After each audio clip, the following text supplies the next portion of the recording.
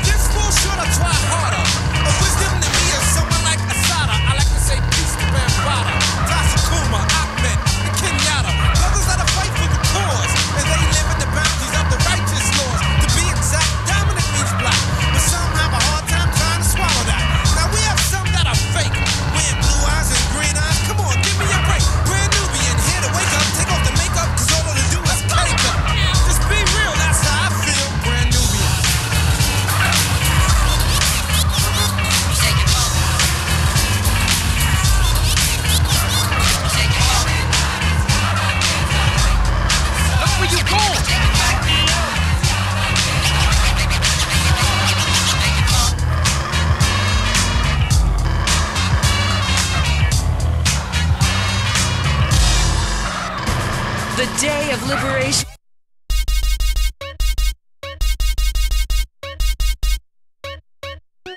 is here. Throughout history, only the biggest and strongest survive. Being big means you're successful, and women love big men. And as a successful man, you need to feel comfortable when you're sitting down to eat clothes for the bigger man. Don't be bound by society, bogus medicine, and the media with their unhappy.